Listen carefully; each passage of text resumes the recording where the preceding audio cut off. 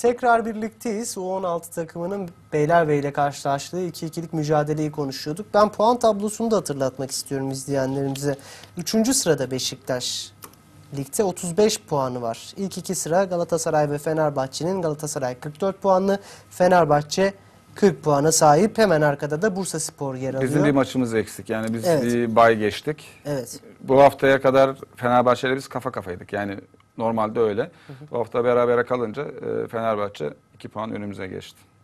Mücadeleyi bu şekilde tamamladık biz de bu haftayı. Önümüzdeki haftalarda Evet, umarız artık öz kaynaklardan, Beşiktaş öz kaynaklarından güzel skorlar, bol gollü karşılaşmalar bekleyelim. Gelecek adına güzel temeller atılmasını dileyelim. Aynen, Aynı zamanda. Şimdi eee, bir sokak röportajı yani Taksim'e çıktık. Yine Taksim'de sorduk dedik ki altyapılar mı yoksa yeni transferler mi?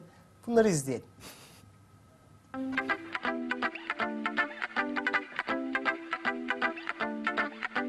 Mrs. Brown, you've got a lovely daughter. Girls as sharp as her are something rare. Altyapı mı yoksa dışarıdan transfer mi? Ya bugün için dışarıdan transfer. Benim fikrim altyapıdan çıkan oyuncu her zaman daha iyidir. Çünkü takımı için gerçekten yüreğiyle oynar. Yani altyapıdan yetişen oyuncu her zaman daha iyidir. Yani herkese göre de öyledir. Maliyeti az olur. Yani taraftar falan daha çok sever onu. Altyapılar tabii ki de. Ya bence altyapıdan gelenler. Çünkü yani Türk futbolumuzun gelişmesi için, daha çok gelişmesi için altyapıdan gelen daha ama iyi yani bence. Altyapı önemli. Neden? Çünkü bizim futbolcularımız yetenekli, kabiliyetli. Mesela Türk futbolunda başarılı olduğumuz dönemlere bakarsan altyapıdan çıkan oyuncular hep daha etkili olmuştur. Ya çok büyük yıldız transferleri yapacaksın ki o da bütçe meselesi her takım yapamaz. Yani o yüzden altyapı bence daha önemli. Dışarıdan gelen transferler. E, tabii ki altyapı yani. Altyapıdan kendi öz evlatlarını yetiştirip şey yapması daha iyidir. Yani Hollanda modeli. Bütün takımların buna yönelmesi gerekiyor. Tabii ki altyapı daha önemli abi. Yani oyuncuları yetiştirmek, kendi kulübünden olması daha iyi. Dışarıdan alırsan mesela daha maliyetli olur. Bana göre altyapı önemli çünkü her şeyin altyapısı önemlidir. Binanın altyapısı önemlidir. İş yerinin altyapısı önemlidir. Sonradan eee, eklenmeler ya da gelmeler gitmeler ana soruna çözüm üretemez, kalıcı olmaz. You'll so proud if she finds that I've been round to see her.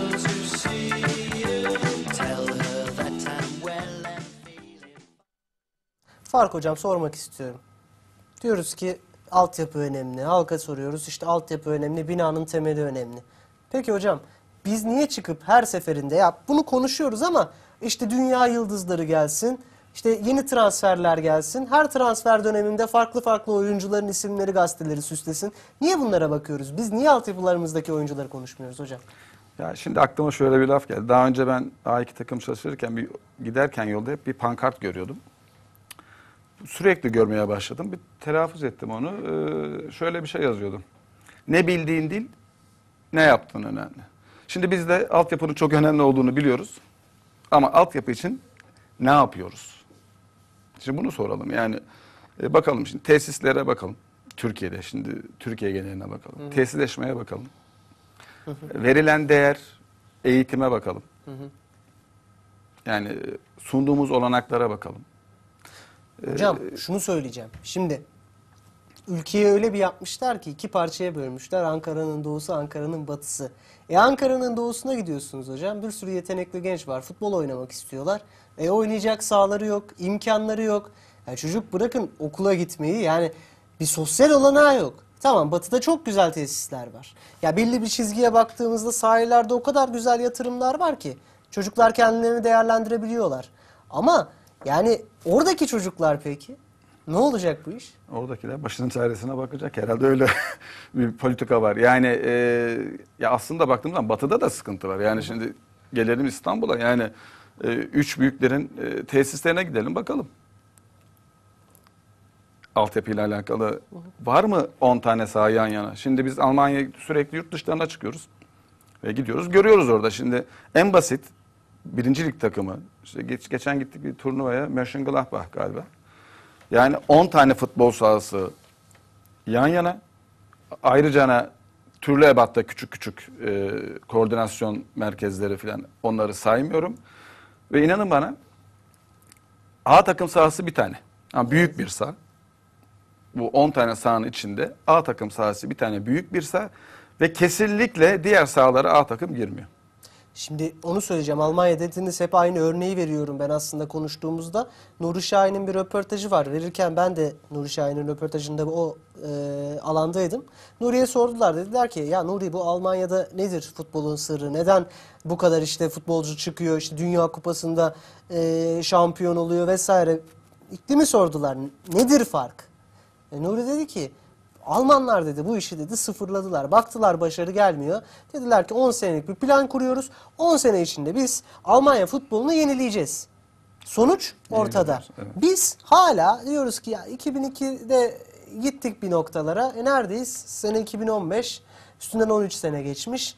Hala kendimizi sayıklıyoruz. Bir sürü isimler dolanıyor. Her sene hocam siz de biliyorsunuz. Yani birçok futbolcunun ismi atılır ortaya. Herkes birçok yorumlar yapar. İşte futbol otoriteleri çıkar anlatır derler ki ah işte şu gelecek bu gelecek. Ya tamam da işte bakın yani.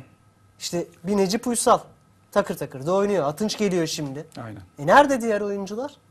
E sırayla geliyorlar yavaş yavaş. Bunu Beşiktaş için demiyorum ama. Ha, Tüm Türk takım. e, Aynen. Spor Toto Süper Lig için konuşuyor. Ya geliyor oradan da geliyor da yani e, fazla tabii İstanbul e, basını fazla Anadolu'yla pek ilgilenmiyor. Orada da çocuklar var yetişen. Yani bu atıyorum Antep'te Muhammed Demir var mesela. Bu da altyapıdan gelen bir çocuk. Ömer Ali Şahiner Yani var, var. oyuncular var ama tabii yani onlar biraz geri planda kalıyor. Sanki hani onlar altyapıdan yetişmemiş gibi gözüküyor. Aslında tabii ki belli bir altyapı kültürümüz var ama Hocam yeterli biz değil. U21'e gelene kadar milli takım seviyesinde oyuncuları tanımıyoruz. Aynen. Ne zaman ki U21 milli takım seviyesinde bu oyuncular geliyor, o oyuncuların isimleri artık medyada çıkmaya başlıyor. Diyorlar ki işte bakın Muhammed Demir, Ömer Ali Şahiner, Ahmet Çalık, işte İrfan Can Kahveci.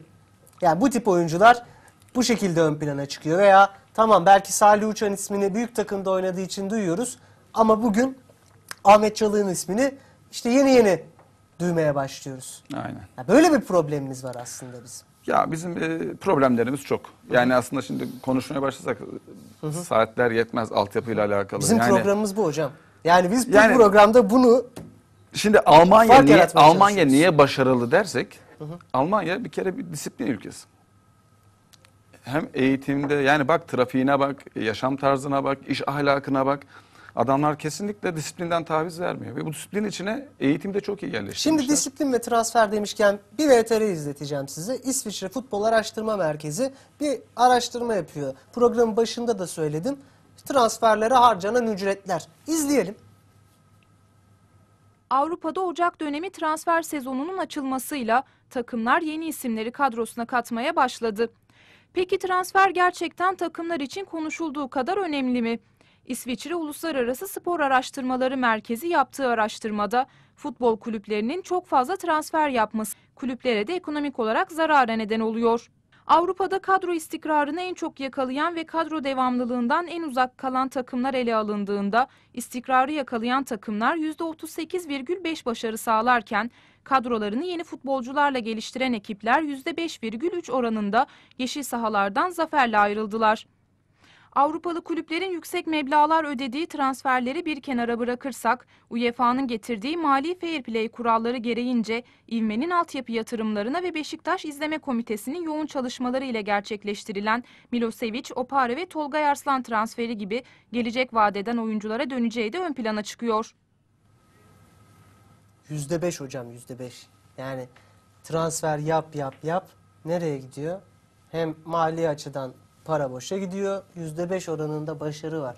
Çok kara tablo değil mi? Ama hep transfer konuşuyoruz hocam. Mesela bakın. Şimdi üç tane isim söyleyeceğim size. Alexander Milosevic, Daniel Opare, Tolga Arslan. Uygun maliyetlerle transfer izleme komitesinin, futbolcu izleme komitesinin yaptığı yepyeni transferler. Üç tane. İşte Opare için bir sürü şey söylendi. Yok oynadı oynamadı. Tolga Arslan için konuşuluyor konuşulmuyor bir sürü spekülasyon var. Alexander Milosevic için işte uzundur Beşiktaş'ta vardır denildi vesaire bir sürü şey. Ama bu oyuncular daha uygun maliyetli ve e, mesela baktığımızda ligdeki bir sürü takım işte üçünün maliyeti kadar bir tane futbolcuyu satın alıyor. Ya ve bu oyuncular hep gelecek vaat edecek genç oyuncular. İkisi 1990 doğumlu, biri e, 92 doğumlu. Gencecik oyuncular bunlar. Yani baktığımızda A takım düzeyinde. E dolayısıyla transfer ya bu yöne gidecek ya da gidip biz işte 10 milyon euroya şu ismi getireceğiz. 15 milyon euroya şu ismi getireceğiz. Yerli piyasadan 8 milyon euroya şu ismi transfer edeceğiz vesaire vesaire.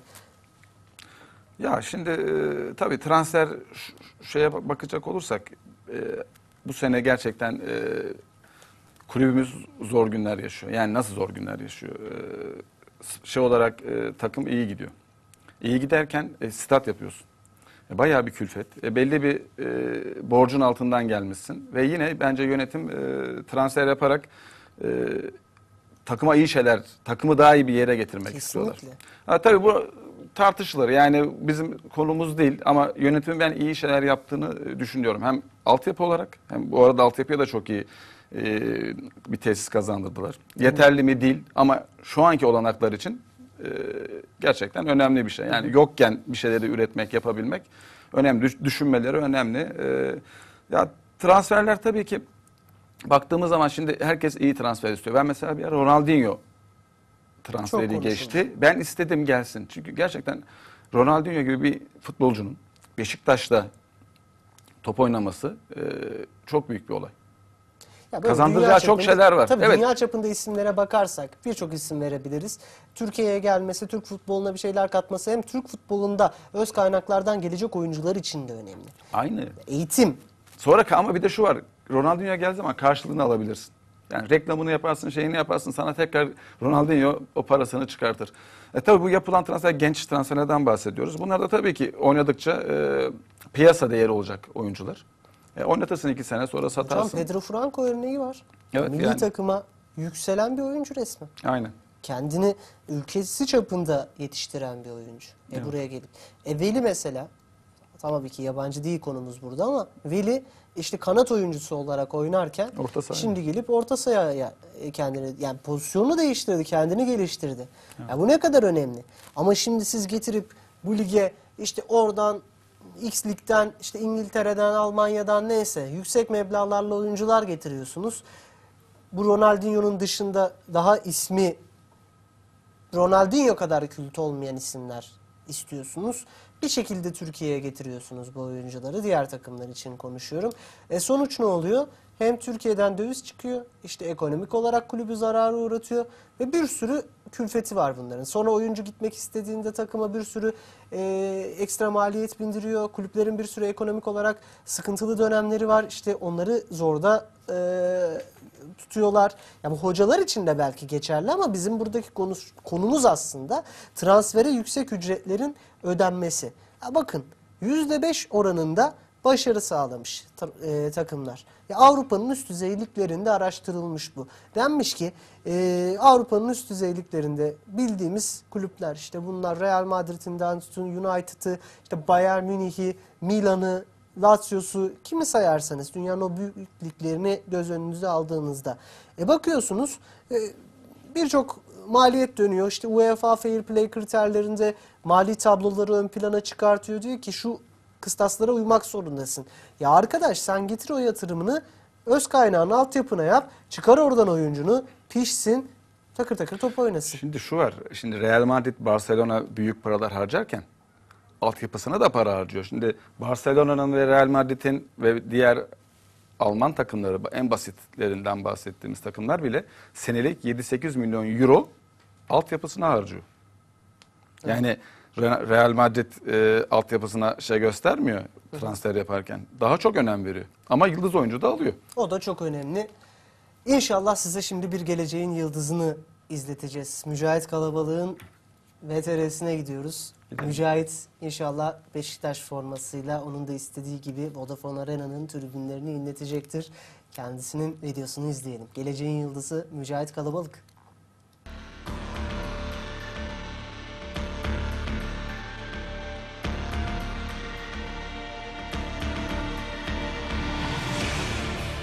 Futbola e, okul takımında e, bir okul resim maçta başlamıştım. Oradan amatör bir kulüpte hoca görmüştüm. Oradan oraya gitmiştim. İdmanlar falan. Bir iki hafta denemiştim. Sonra İşte başladık böyle. 4 sene orada oynadım. Sonra işte 4 sene sonra da buraya gelmek nasip oldu. Karma maçları vardı. E, ilçeler arası. Orada da acılar görmüş galiba. Beğenmişler. Buraya geldik. Bir iki gün deneme oldu galiba. İşte oradan sonra da hocalar da beğenince oynamak, bu formayı giymek nasip oldu. Tesislerden girdiğimizde yani soyunma odasında bu işler verildiğinde yani bu formanın altında olmak çok başka bir şey, gurur. Heyecanlanıyor insan tabii normal olarak. Büyük bir caminin alt formasını giyince. Yani heyecanlandım, gururlandım biraz da. Yani bir, bunu, e, Beşiktaş'ın her, her yerde bir katkısı oluyor yani dışarıda da insanlar için. Büyük bir cami olduğu için hem gururlanıyorsun hem de çok büyük heyecan oluyor. İlk maç derbiydi. Galatasaray derbisiydi. Çok heyecanlı. Yani İlk yarı bayağı heyecandan biraz zorlanmıştım. Ama ikinci yarı toparlamıştım. Çoğunlukla hani ilk başta bir aile. Çünkü ilk başta ister istemez yayınca direkt ilk 11 oynayamıyorsun. Biraz çalışman, bayağı çalışman gerekiyor. Yani o zamana kadar o süreyi iyi geçirmem için ailem ve hocalarım çok yardımcı oldu. Geçen seneki hocam olsun. Yani bayağı çok iyi geldiler tabii. Üst üste çünkü çok zorlandım. Buradaki arkadaşım da iyiydi normal olarak Beşiktaş'ta oynadığı için. Zor oldu biraz ama iyi oldu yani. Ya, Türkiye'nin her tarafından her her oyuncu buraya aday. Yani çok zor oluyor ama yani gi- formayı giymek yani her şeyi yayıyor. Çünkü buraya gelene kadar çok çalıştığımız için yani bütün arkadaşlarım da biliyor. Yani çünkü buraya gelmek her, her gün 5-6 kişi denenmeye geliyor. Yani normal olarak büyük bir kulüp çünkü her zaman en iyisi olman gerekiyor. Sürekli çalışman gerekiyor. Biz de çalışıyoruz işte kalmaya çalışıyoruz. İşte gidebildiğimiz kadar A takıma kadar inşallah. En zayıf biraz kafa topunda sıkıntı var. Ee, önceden oyun, geriden oyun kurmam zayıftı. Bu sene onları güçlendirdim bayağı. Hocalar sağ olsun. Yani bir kafa topu var. Başka da biraz daha tekniğimi geliştirsem daha iyi olacak gibi. Hız ve çabukluk yani.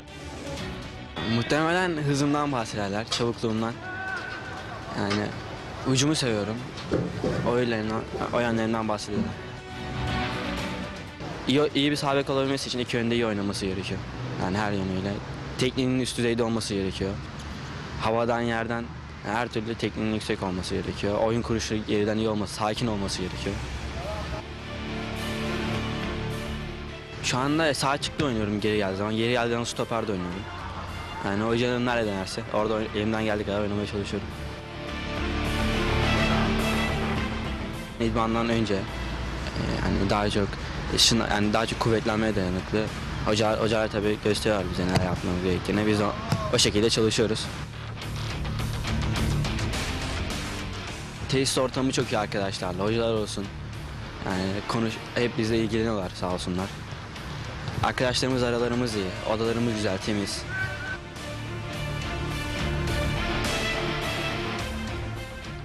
Ya, takım olarak iyiyiz. Ya, bir sorun yok. Herkes birbirine yardım ediyor. Bir sorun olduğunda gerekirse hep beraber karşı çıkıyoruz o soruna. Çözmeye çalışıyoruz.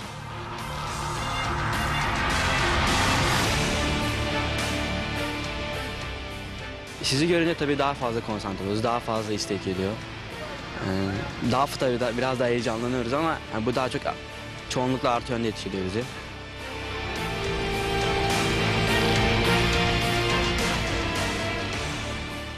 Stat yapılınca çok daha iyi olur ama yani o statta da bir oynamak istiyorum. Eğer başarabilirsem bir Premier Lig'de oynamak istemiyorum.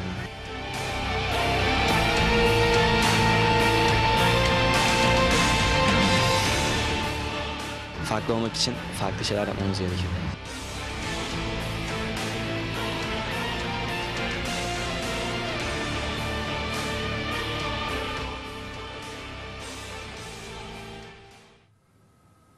Farklı olmak için farklı şeyler yapmamız gerekiyor. Bir de Premier Lig. Ne diyorsunuz hocam? Çok doğru söylemiş. Yani gerçekten.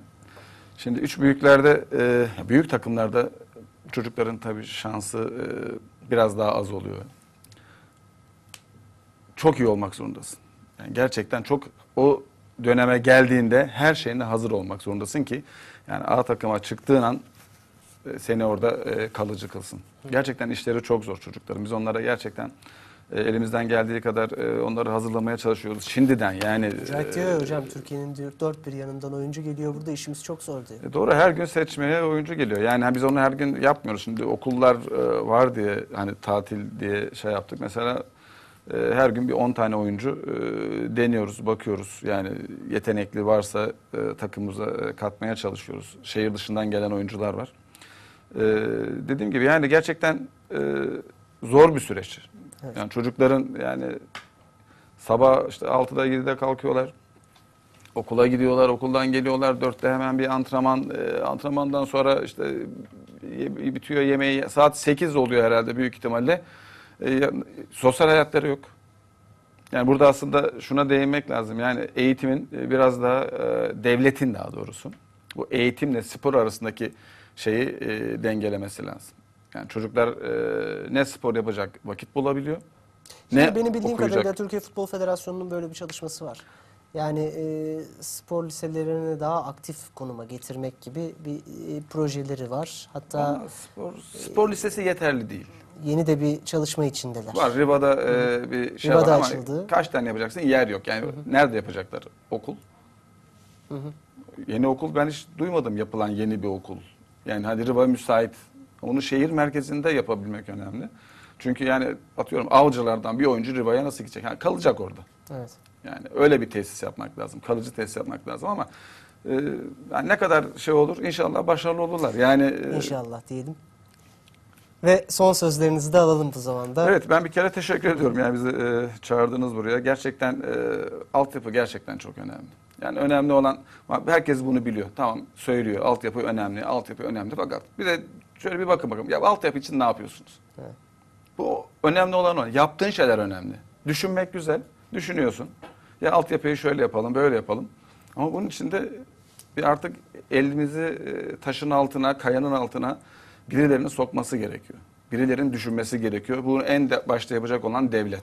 Evet. Yani devlet artık e, plaza yapacağına e, gençlerimize Biraz spor yapması. Sporla onları Evet yani hem sosyal plazaları destekleyeceğine, plaza yapma, yapanları destekleyeceğine işte onun yerine boş alanlar artık boş alan da kalmadı. İstanbul'da nereye ne yapacaksın bilmiyorum yani yapacak bir şey yok. Ee, biraz daha o zaman e, imkan yaratması gerekiyor. Çünkü bu iş devlet destekli olur. Evet. Almanya'da, Avrupa'da yani genelde Amerika'da bu iş devlet destekli. Öz kaynaklara eğilelim diyelim. Bugünün sözünde belirleyelim. Aynen öyle yapalım. Evet, bizi izlediğiniz için çok teşekkür ederiz. Bugün Faruk Hakan Şahin hocamla Beşiktaş U16 takımı teknik sorumlusu kendisi. Programda Futbol Akademisi'nde gelişim süreçlerini değerlendirdik. Maçları sizlere aktardık. Bizi izlediğiniz için tekrar teşekkürler.